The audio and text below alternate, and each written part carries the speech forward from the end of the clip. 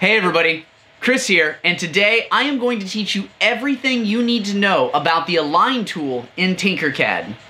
But before we get started, I just wanted to mention, I've done another video where I use everything in this video and others to create a full project from concept to 3D print in just under 30 minutes. So after you're done here, head over to watch that video so you can see how you can combine all of these tools to create your 3D models in Tinkercad.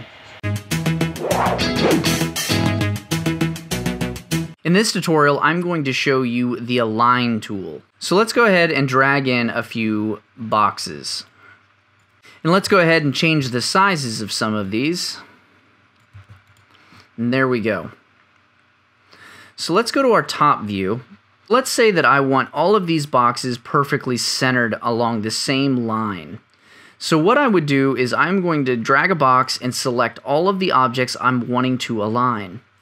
And then I'm going to come up here to my Align tool, or you can hit L on your keyboard. When you hit L on your keyboard or click on the Align button, you're going to see all of these little nodes show up. Now these nodes will actually show you how you're wanting to align this. Now if I click on this middle one right here, it will move everything to this center line. Or I can click on the top one or the bottom one. And the nice thing about Tinkercad is when you hover over it, it will show you where it's going to go. So if it's to the top, right there. So now that we have everything aligned in the center, what if I wanted to align them vertically? When you change your angles, different aligns will show up. So we can actually align them all to the middle right here. So when you have multiple objects selected, you can just look to see which one you want to align it to. So do I want them all aligned to this edge? And you can see how they'll all move to that edge. Or this edge. Let's say we want to align them all to the bottom. So now they're all on the same plane.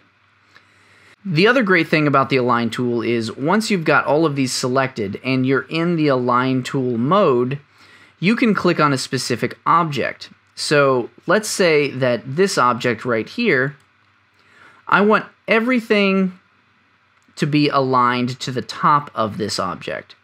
So if I click on this, everything is going to move down now. And even the same thing, if I click on this and click on the bottom here, everything will be aligned to the bottom of this smaller box.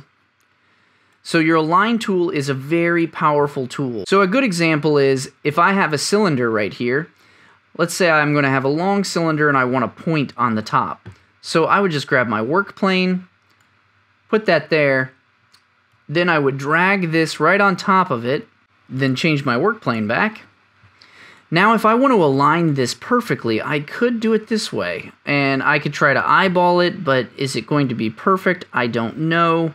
So all I would have to do is select both of them, click on the align, and I could center it.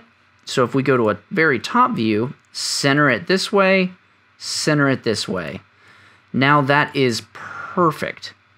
It's a perfect looking pencil. Your align is great. I use the align for almost every single project that I am working on.